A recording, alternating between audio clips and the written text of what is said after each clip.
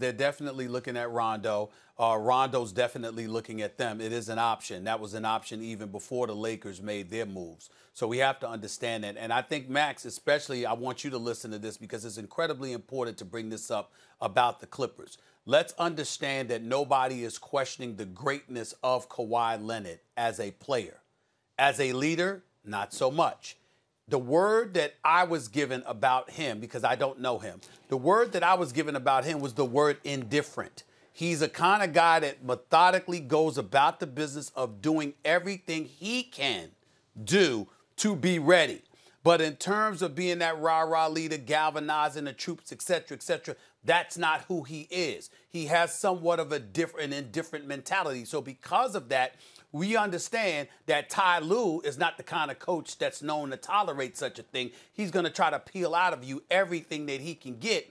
But it's important because when you're Kawhi Leonard, if if I were talking to Kawhi Leonard, Brian, this is what I would say. All of these moves we made, these draft picks we surrendered, we did that for you. Paul George is here because of you.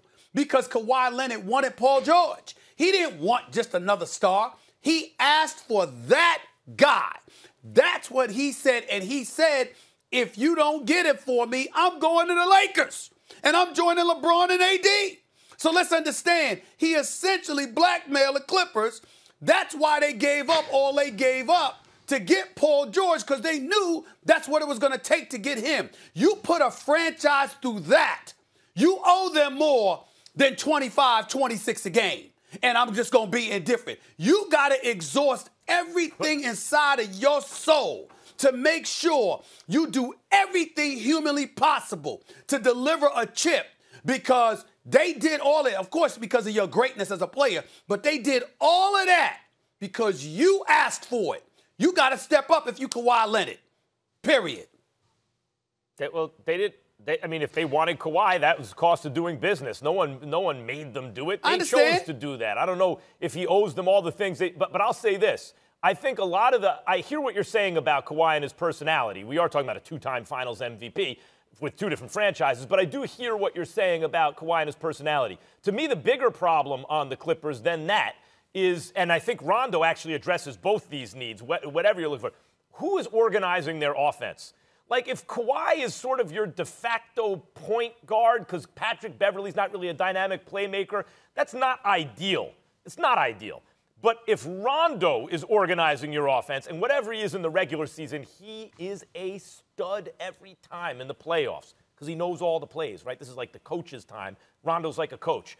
If you have a more dynamic playmaker who hooks up his teammates like Rondo, then Stephen A., you kill two birds with one stone. Not only do you get your leader, but you also get a guy who can organize your offense, turning Kawhi weapon into a Kawhi Leonard into an offensive weapon instead of like a de facto point guard. Well, that's why I reported weeks ago that they that Rondo wanted to go there. And remember, I told you that before Rondo came on the show, and then you asked Rondo about, and I asked Rondo about Indeed. whether he was married to the Lakers or was he open to moving, and he said yeah. So we understand that. Plus, Kawhi Leonard has been behind the scenes telling folks they need a point guard. Wendy, you know this. He didn't tell them to get rid of Patrick Beverley, but he said we need a prototypical point guard to run a show. You know, the orchestrated offense. Well, be- In the end, Wendy, I'll give it to you by I'll give it to you by simply saying he's got to step up. Period, because he does owe them everything. Like recruiting. he got to give it to them. He- yes he's got to do some recruiting, which I assume has already happened with Rondo because there are other teams out there who are interested in him, including the Atlanta Hawks. And frankly, the Hawks can outpay the Clippers. But one of the reasons uh, why uh, Kawhi and Paul George chose the Clippers was because of their deep pocketed ownership and their prudent front office. They just won Executive of the Year. So, and these guys, by the way, just made a couple, and they were, they were small deals, but the deals that they made on draft night, acquiring four second round picks and Luke Kennard in one deal, and then picking up the 33rd pick uh, in the other another in another deal. They are that's one of the reasons why he puts their their trust in him. So let's see what they do. Possibly yeah. there's a sign and trade out there from Montrezl Harrell that they can execute where they could bring back some talent. Possibly in addition to Rondo, they could make a different move. The pressure is kind of yes, the pressure is on Kawhi every single day of the year because that's who he is as an organization.